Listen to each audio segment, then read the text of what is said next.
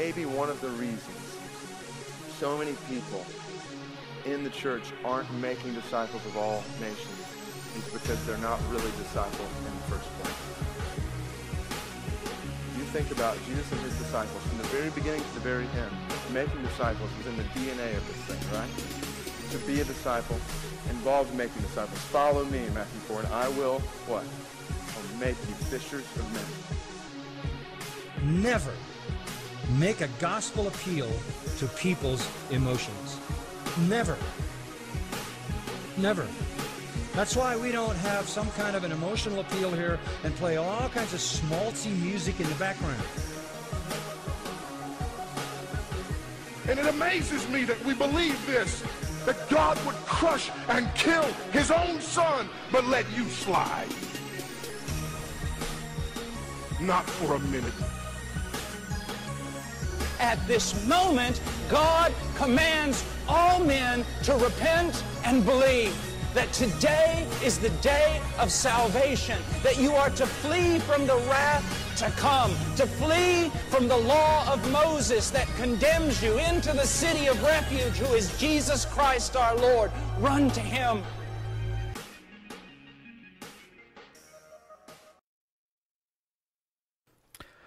Welcome, G220 radio listeners. This is Mike, and we are here on a Saturday night. Sorry about that. And we're going to dive into some Jehovah Witnesses some material. We're going to uh, to examine them and to think through them with it. So um here we go. We're going to talk about the question how can you draw close to God? And we can maybe think of different things about it. Really, this is mostly about prayer, um, going to church, and going to the kingdom halls, as they would call it, and then um, meditating on the word. That's how they say you get um, draw close. So we will examine it like we do. We got the PowerPoint with it. So if you're listening live here on Facebook, drop the comments. I'm going to try to keep it up. It's hard. I only got two screens. I'm not cool like Ricky and having three screens. Um, so drop a line. I'll try to get to it um, as we're going through um, with it. And if you're listening on audio, well, I apologize that you can't interact, but you can always send feedback um, to us on Facebook or our um, email address, which is g220radio at gmail.com. And make sure you join us on Tuesday nights at 9 p.m. Eastern Time. We'll be having a special guest or an interview this coming Tuesday. I'll probably talk about that more at the end of the show about that. So let's get into this. Here it is. How can you draw close to God? Here's the little, here's the PowerPoint. The question, remember, we're going through. This is a pamphlet called Good News from God. And we only got a couple left. So hopefully we will end this here probably early September with it. So how can you draw close to God? That's the question of of the hour.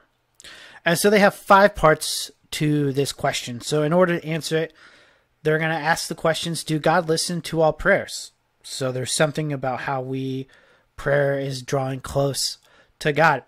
And then how should we pray? Um, why do Christians meet together is the third thing.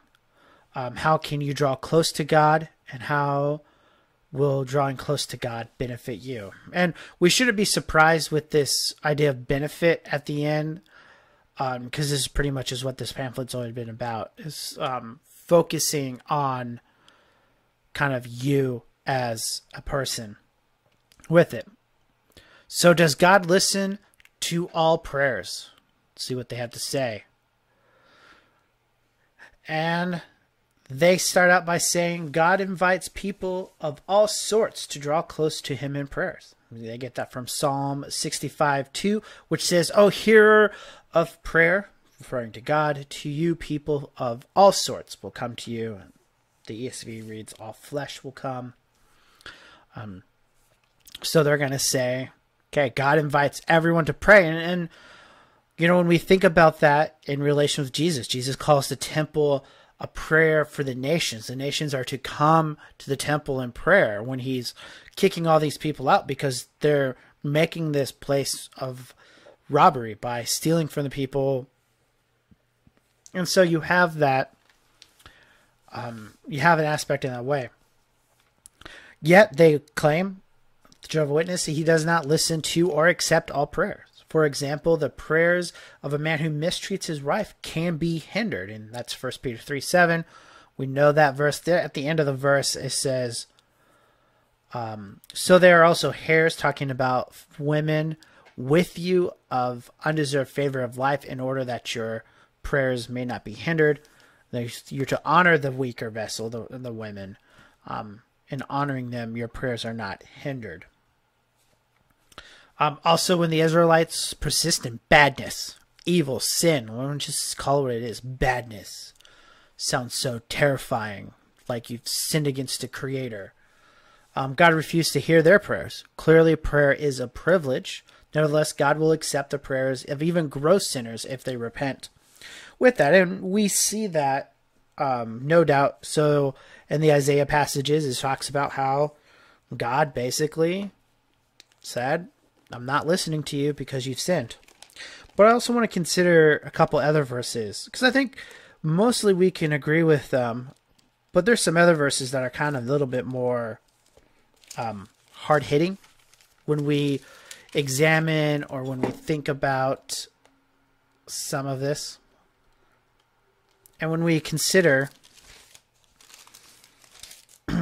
all of it. So, like Proverbs chapter 28, verse 9 says if one turns away from his from his ear if one turns away his ear from hearing the law even his prayer is an abomination so the proverb is as we've been studying it on the regular show you know the idea of wisdom and glorifying or living in wisdom is to fear the lord and fearing the lord is to also includes obeying what he has said.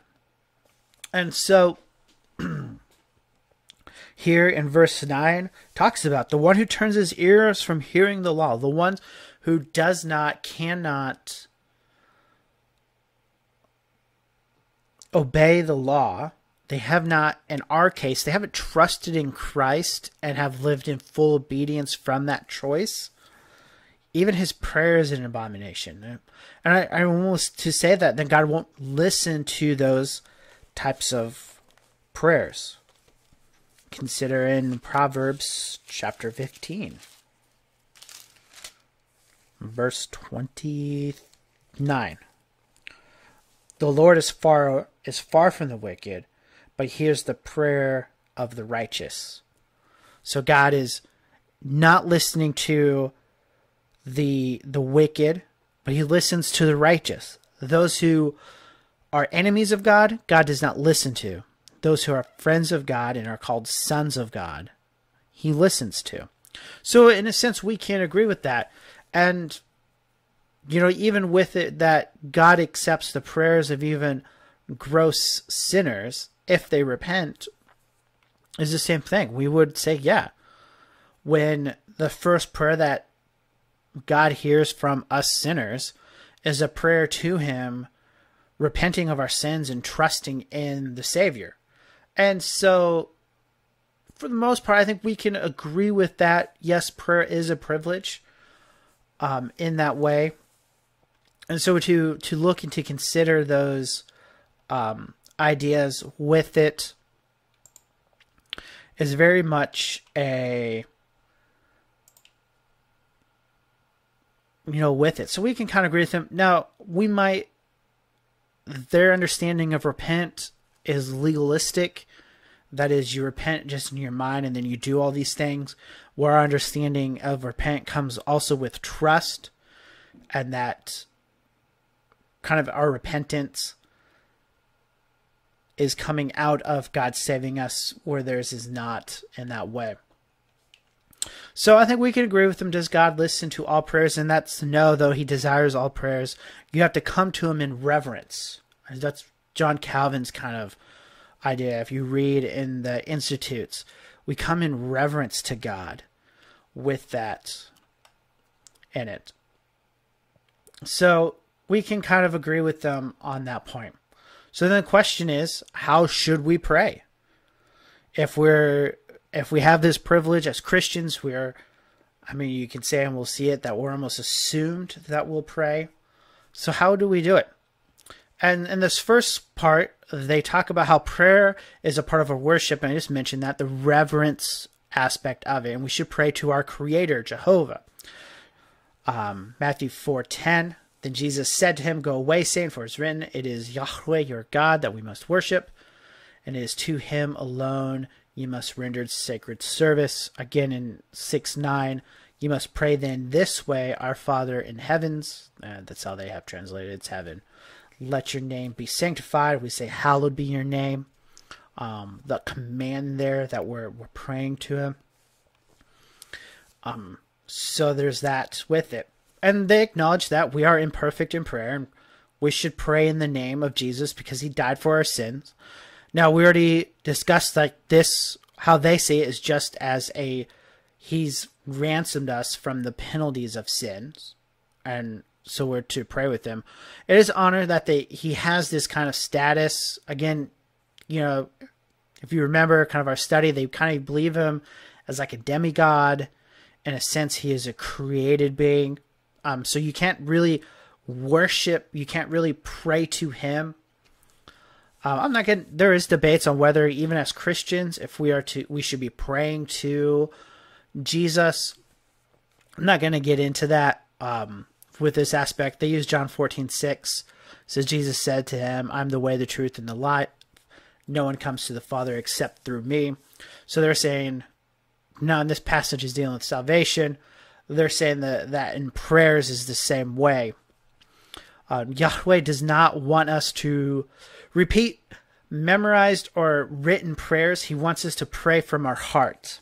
And now, this one, I'm going to kind of disagree with. I don't think that memorizing prayers or writing prayers down is necessarily not praying from your heart the Puritan pastors would normally write out their prayers and ways to read before the sermons. Memorizing prayers can be um, are kind of more troublesome. And really, they're getting this from Matthew 6 7, says, When you pray, do not say the same things over and over again as the people of the nations do, for they imagine that they will get a hearing for their many use of words. And this is kind of a babbling idea. Um, maybe like the Pharisees just kind of, they're just going and repeating all these things. And I get that, that it's to be a conversation more like. But I don't think memorizing prayers or praying from written prayers is necessarily saying you're not praying from the heart. When you consider the, the book Valley of Vision and all the great prayers that are in there, it should be, we should note that in kind of a way that these were written down to be prayed they are there. Do you pray them word for word? Maybe at times. But let's even just get away from Valley of Vision. What about the Psalms? Now, those are a book of hymns, they're a book of prayers. When we consider Jesus when he's on the cross he said my god my god why have you forsaken me? This this call of desperation he's quoting psalm 22 you know is it wrong to pray to god god and say god you are my shel- you are my shepherd and i shall not want. You make me lie down in green pastures. You lead me to streams of waters. Is that necessarily wrong to pray that in that way, which is written down. or even memorized with it. And so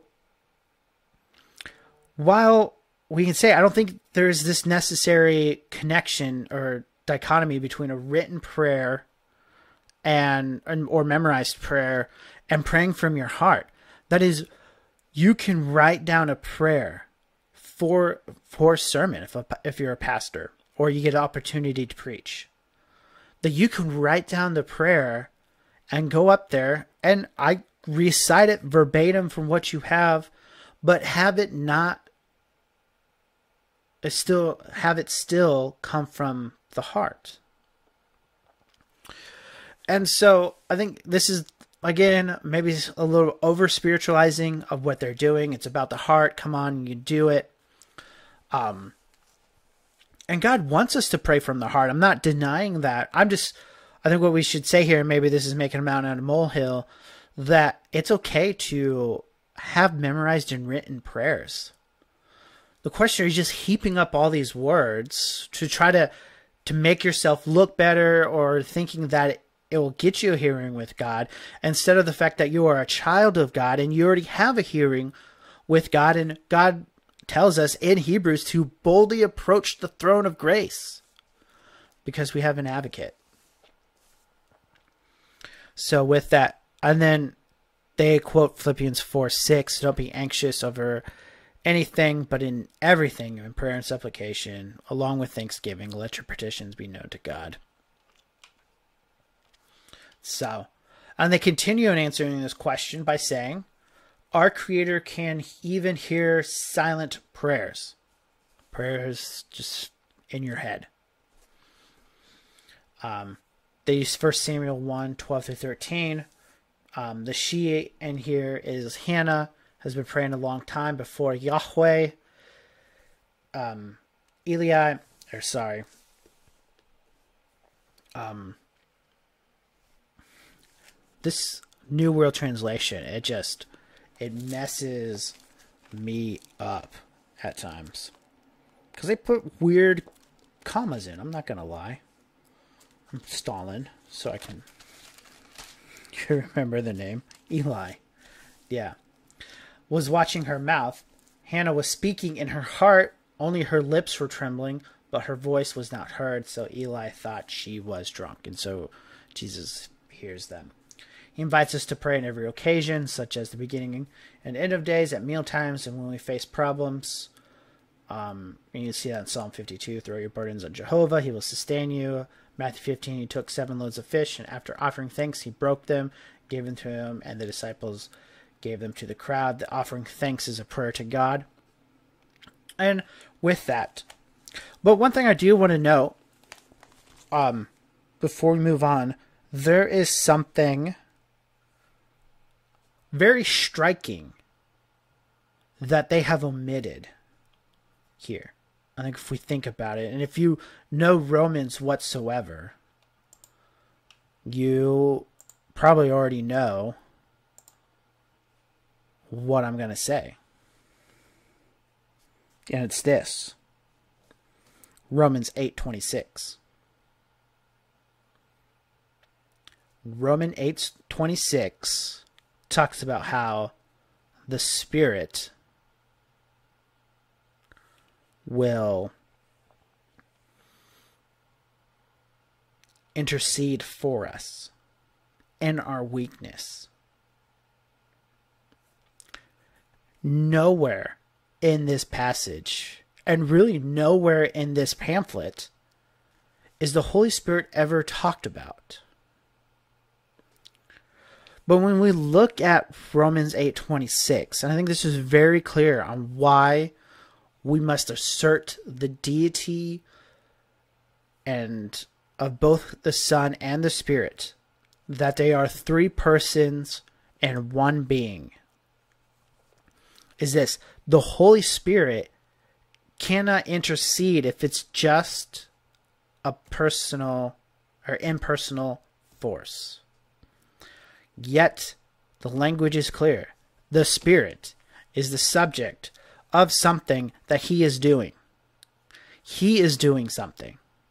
He is interceding for us in our weakness. That is, even though we can boldly come to the throne of God, we come in the Spirit, with the Spirit interceding us and helping us, with Jesus interceding and helping us. We need both. And so this is very much a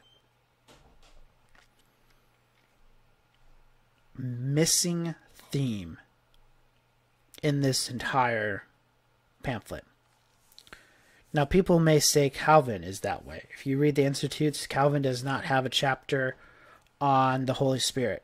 He has an entire book on the Father, he has an entire book on the Son, but he has nothing on the Spirit. Just like the J Dubs in this pamphlet does. But the one crucial difference between Calvin and the Jehovah Witnesses is this the Holy Spirit is in every part of the Institutes. You cannot read a part of the Institutes and the Spirit not have some impact on what is written in it. Here in the Jehovah Witness pamphlet, the Holy Spirit is absent completely and most of the time, I have to bring it up because that's how we counter it. They are, and, and part of me, and I don't, I try not to research beyond what is is given here because I want to think through it in in light of it, and to, and really to use this. Then, okay, your pamphlet is saying this. This is what it seems to say. Um, can you help me understand it? But here's the thing I would go. How does the Holy Spirit fit in the role of prayer? According to Jehovah Witnesses. Because seemingly it doesn't. Unless for some reason this impersonal force can go backwards, like between God and us with it. So that's how they start out. These first two questions uh, does God listen to all prayers? And we can say with them, um, with some minor disagreements, yes, God does not listen to all prayers. He he does not, and he hates the prayers of the wicked. And how should we pray? Um, we should pray from the heart. It should be worshipful. It's as Calvin, as I mentioned earlier, Calvin said, this idea of reverent. You just don't flippantly go to God. We come reverently before the King, though he is our Father. And we should take joy and comfort in that. With it. So the next thing is on after how we should pray is why do Christians meet together? And uh, again, they have two kind of sections with this one. And it kind of draws off. So you have this kind of personal idea of prayer, eh, close communion between you and God. They're going to move to now this idea of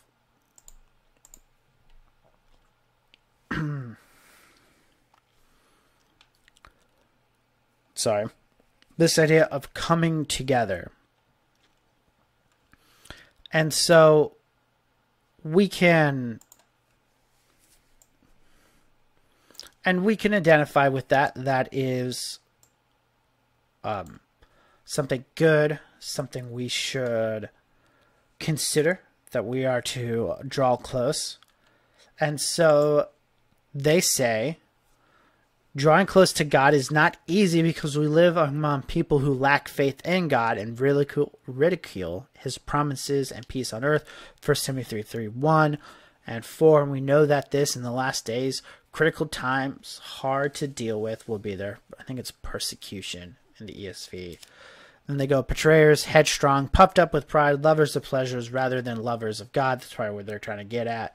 And is that we live in this world that hates God. And, and I mean, I don't have to try to defend that. I mean, agree with that. So we need encouragement associating association with other believers, and they need us. And so you have Hebrews 10, 24 and 25, and it says, Let us, they say, concide or stir up, is how the ESV, one another to love and good works. And they have incite to love and fine works. Just weird translation stuff like that. Um, not forsaking meeting together, as some have the custom, but encouraging one another all the more as you see the day drawing near. I would add even 21 and 23 to this. Um, about let us have full assurance of hope. Um, and then the aspect with faith, I think we should bundle these together. Um, because there is this let us, and there is this mutual encouragement, which is why we should attend church. That's why I have I am a member of a local Southern Baptist church. And my pastor just posted what he's going to be preaching on Titus 1 1 through 4 and has encouraged us to read the text before we go and to meditate and to be prepared to come and worship on Sunday. And this is a good thing. We need to. We need to come together with it.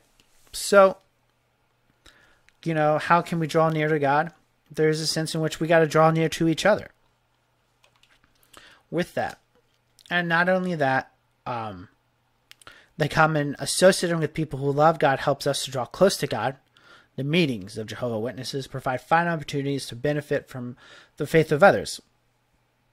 Again, um, here they have Romans 1. Paul says, For I am longing to see you that I may impart some spiritual gifts to you for you to be made firm, or rather that we may have interchange of encouragement by one another's faith, both yours and mine.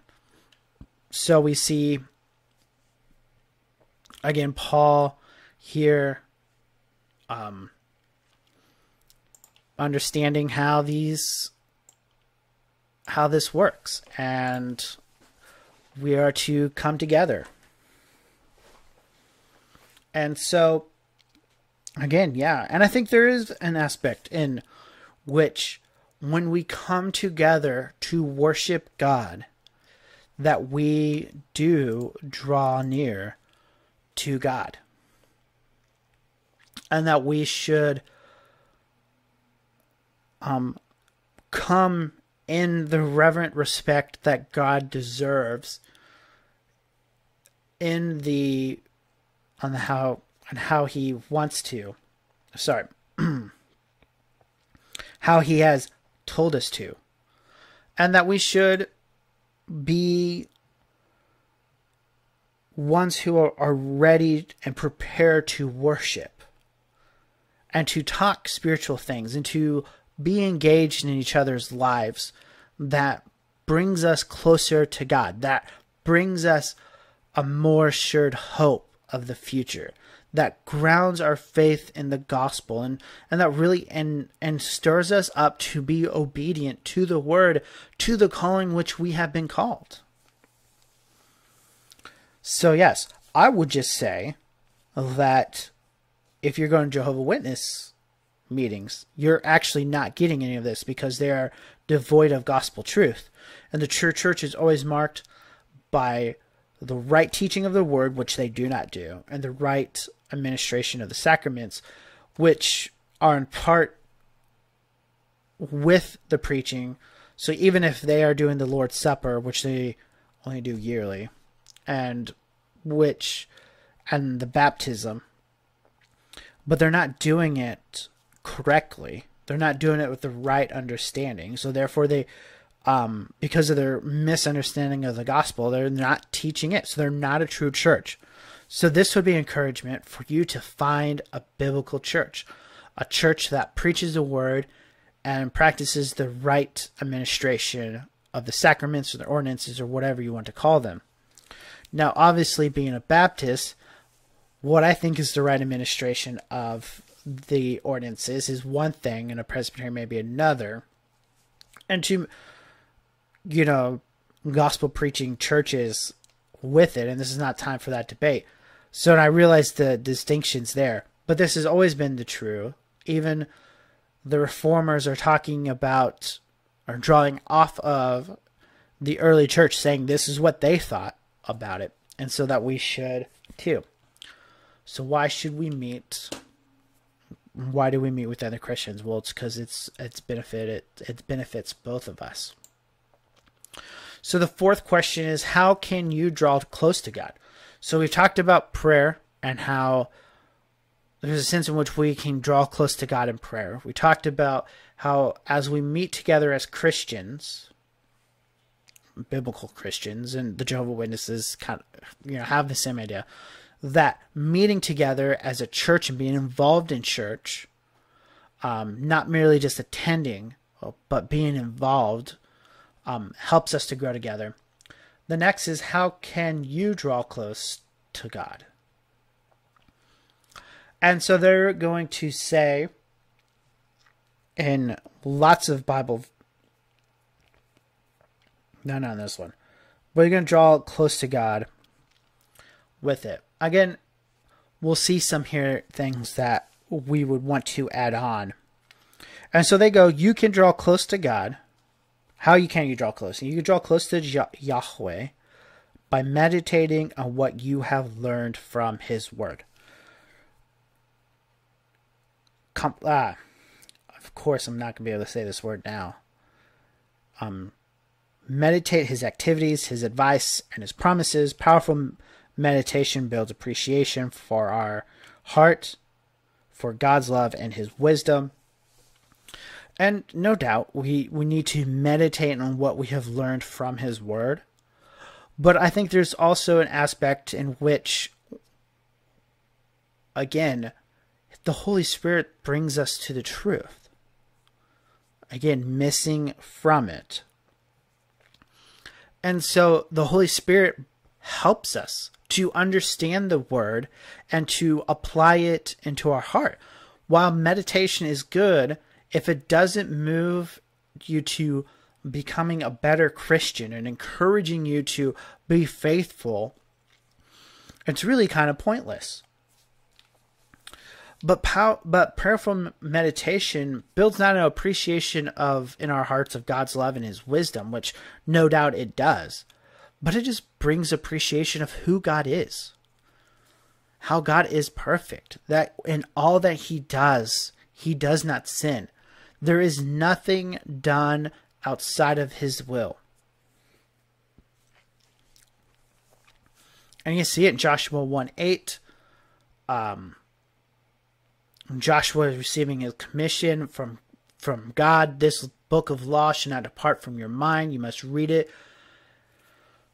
Read read it in an undertone, day and night, in order to carefully to observe carefully all that is written in it.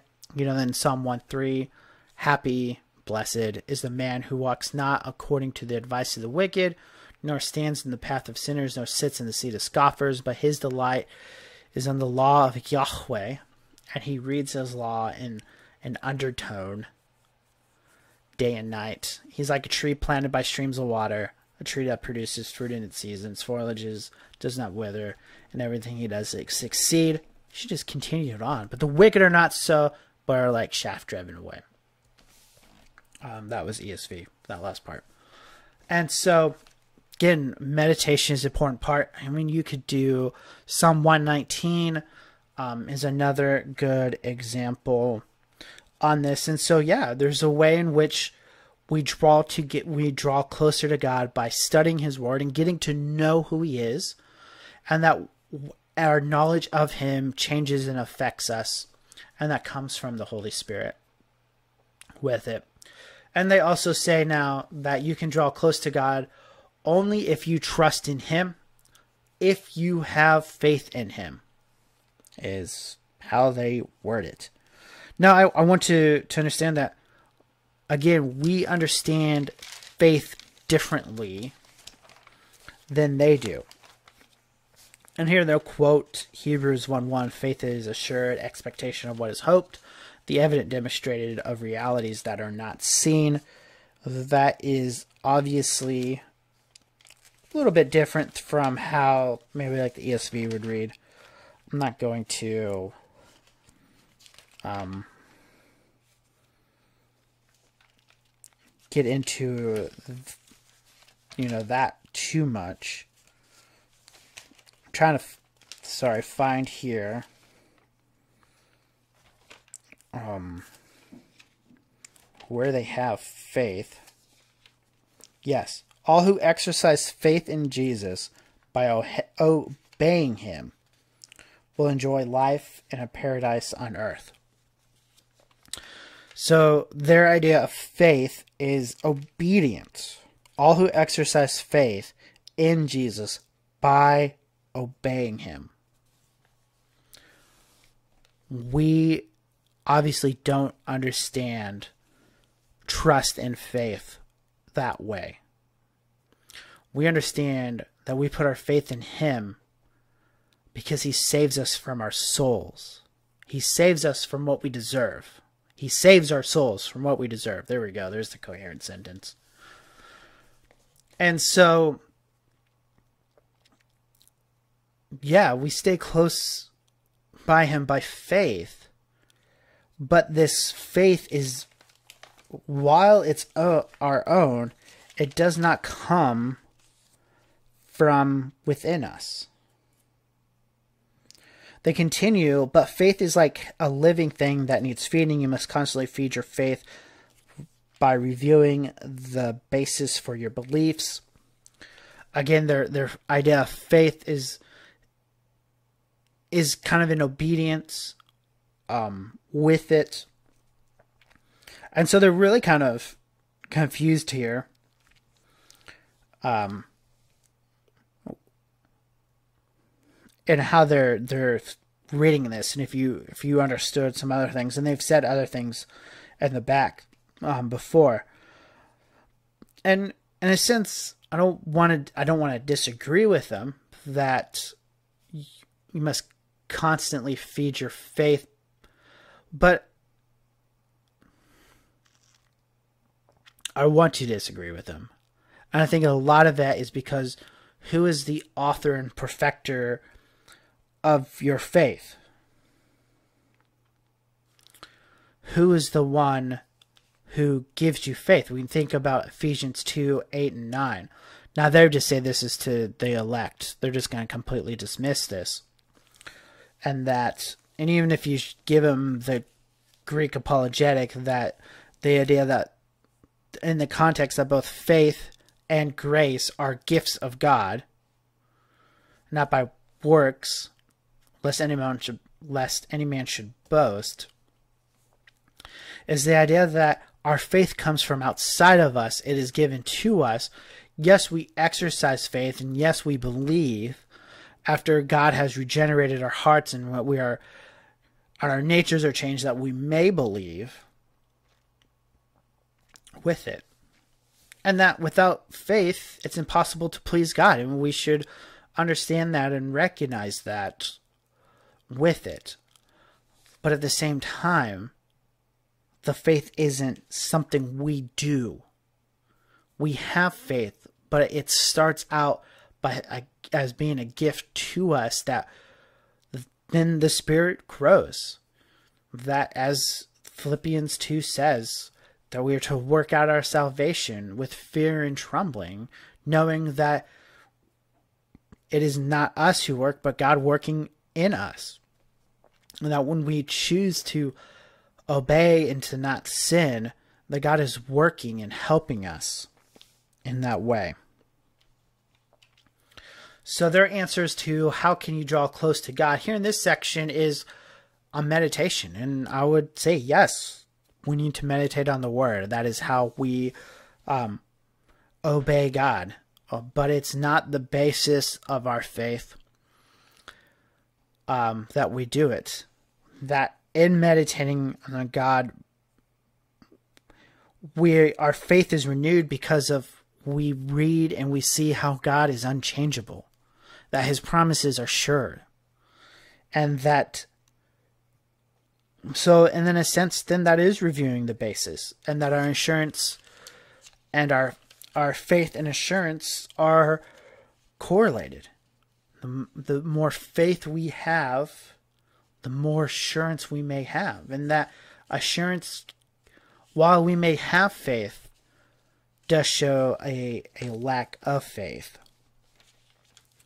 Um, though I'd agree with J.C. Ryle in saying that God may not always give assurance to people. So finally, how can you draw close? How does drawing close to God benefit you? And so to close this out, Yahweh cares for those who love him. And he does. He protects them from anything that could jeopardize their faith and their hope in everlasting life.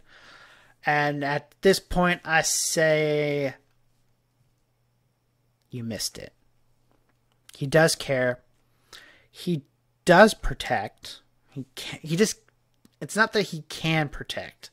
It's that he does protect us from anything that jeopardizes our faith and our hope in everlasting life, which is them, the created heavens, the recreated earth, the created the created earth, not dwelling with God.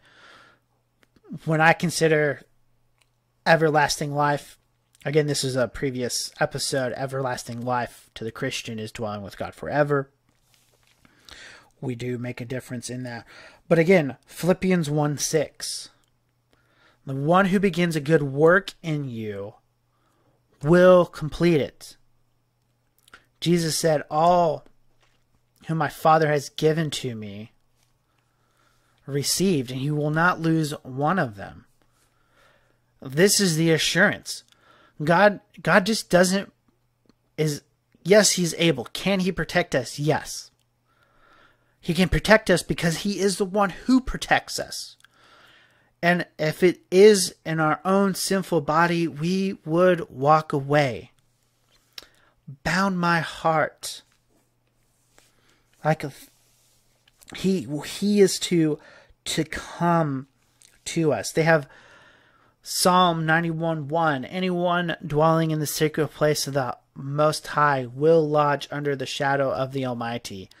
I will say, Yahweh, you are my refuge, my stronghold, my God in whom I trust. And we can say yes because God is able and God is the one who does it. I walk faithfully. God is the one who protects me with it. And so I think there is this idea of Philippians 1 6 that they just kind of move over. Now they're libertarian free will. Your everlasting life is based on obedience and so you have it. And he continues on the next um with it. He warns us against the way of life that threatens our health and happiness. Yahweh teaches us the best way of life. And so that last one, um, Yahweh teaches us the best way of life. Yes, it is through his wisdom and it's through trials. With it, I do think he warns us against the ways of life that threaten our health and happiness. I think there is, yes, he does that, and wisdom shows us that. But that when we consider Lady Wisdom, there is health, there is seemingly prosperity with it. Obviously, when you read Ecclesiastes, the rich, the evil get rich, and the poor seem, or the the evil get rich and the righteous become poor and persecuted. That is kind of how this life works. So he does warn us against way life that threatens our health and our happiness. Because really it's disobedience to him. It's not following the way of wisdom, it's following the way of folly. And he teaches us the best way of life. But again, they don't have a view of persecution. We saw this really early on that that God is here just to make here he says soon he will act to provide a better future for people in every land. This comes from our first would have been in our first lesson. This is the God who they have. And so that's um so the push is this will have the push is same as Joel Osteen. Have your best life now. You follow God, you will have your best life now. Except for why did Polycarp die to the lions? Why did Paul, as traditions say, was crucified upside down? What about the recent converts to Christianity? They were Muslim and they just got killed for their faith. What about them? Will this message have your best life now help them out when they're when Christians are sitting in jail waiting to die because of their faith? Jesus doesn't call us to have our best life now. He calls us to obedience and to wisdom and to live in God's world the way God wants to. And you know what? It doesn't bring us a bed of roses, it brings us persecution. So that when they say, as in James 4 4, adulteress, do you not know that friendship with the world is enemy with God? Adulteress is kind of seemingly out of place here. This is not actually talking about a fornicator. James here is talking about kind of the idolater, the one who worships up something else, someone who is against God. So whoever therefore wants to be a friend of the world is making himself an enemy of God. On James 4 8, draw close to God, he'll draw close to you. Cleanse your hands, you sinners, and purify your hearts, you indecisive ones. Again, that's a good call to draw to draw close to God. You have to be clean. That's what the temple symbolized. But we have a better sacrifice who died in our place that we can now boldly approach, and that's Christ. But they deny that. They deny Jesus as our substitutionary atonement that cleanses us from all our unrighteousness. And that only He, who is God, could have done that. So we get to see how our understanding of the gospel affects everything.